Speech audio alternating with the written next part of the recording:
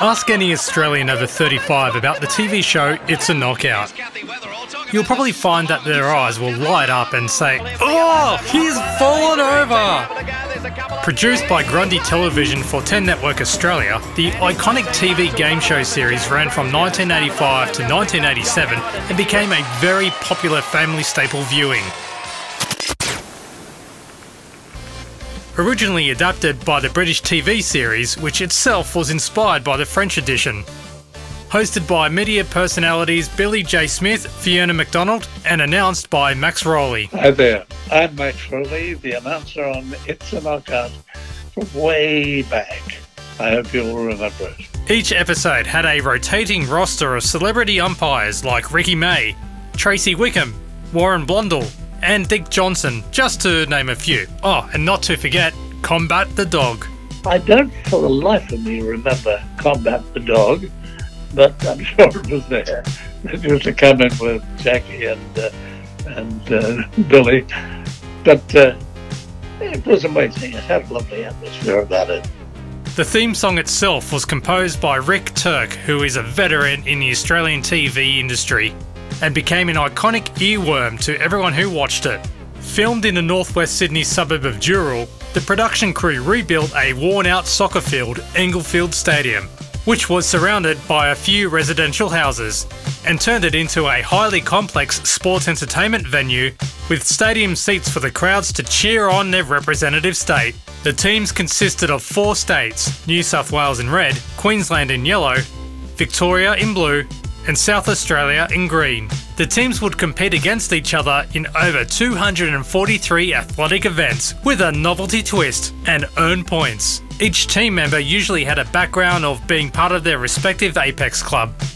Money prizes were rewarded as they stepped closer towards the finals with the grand final prize of $20,000. The show itself was a rating success, even creating special episodes such as the Celebrity Challenge, local and international editions. Heck, even the British version produced a royalty version.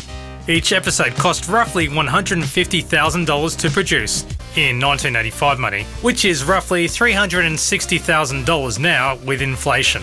However, after 107 episodes in the can, residents living around Englefield Stadium had had enough and registered noise complaints, with Hornsby Council eventually stepping in and pulling the plug. The, sad thing was that due to the number of complaints from the noisy neighbours, um, we had to, because of our noise, close off the show.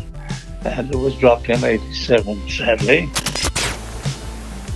And thanks to internet fan sites keeping the memories alive, Channel 10 announced in late 2011 that It's a Knockout was returning for summer TV. Hosted by H.G. Nelson and Brad McEwan and umpired by Charli Robinson, it sounded promising. That's the Persian pounce there.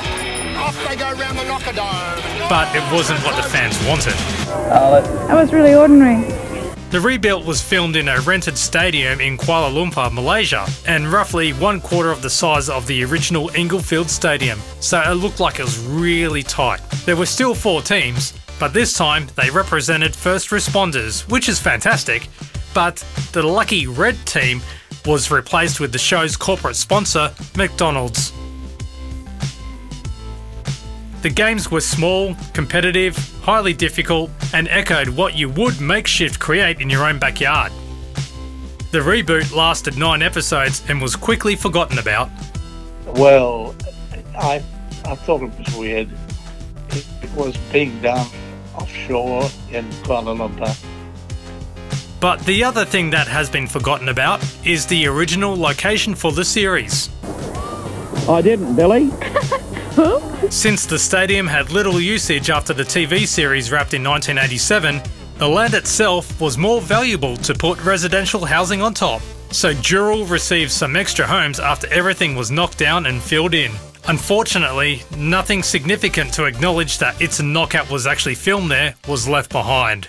A particular It's a Knockout fan, Matthew from Cherrybrook, decided to do something about paying tribute to the location after being inspired by a fan site. Place a plaque on the location. This is John Radley Avenue, which is where the show was filmed. I actually uh, have a friend who lives in that avenue.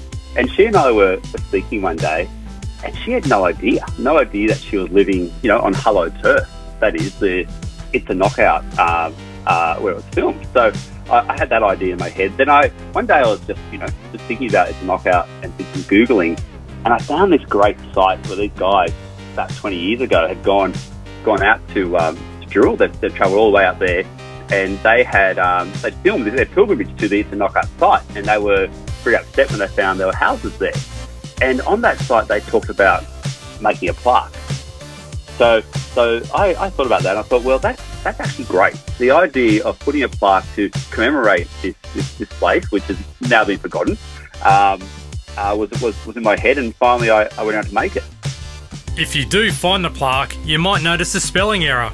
Yes, there is a typo. Um, I really didn't think this was going to be a big deal and I didn't spend a lot of time on it because I have a job. So yes, it's not the greatest sponge in town; it's the greatest fun. But please uh, forgive me. Unfortunately, in 2019, the world lost Billy J. Smith due to an unfortunate accident. He was 78. Yes, what a pity that Billy J. Smith, after such a, a wonderful career, just fell down. Uh, he had a fall and that killed him. Watching back the video, the, my favourite thing about Billy J. Smith is his excitement, and I feel it. You feel it's genuine. You feel that he really loved what was going on, and it's just his enthusiasm. It was fantastic. Today, all we have now is worn out merchandise and bootleg recordings on YouTube. When the 2011 reboot happened, a handful of classic episodes were released on 10play for a limited time. But should there be a commercial release? Well, if they, they think there's a market for it, I think that that'd be good, very good. Because it's a little bit of Australian television history. Yes, I think that could be a goer. it may be a product of its time, but at least the memories live on. Max Rowley speaking.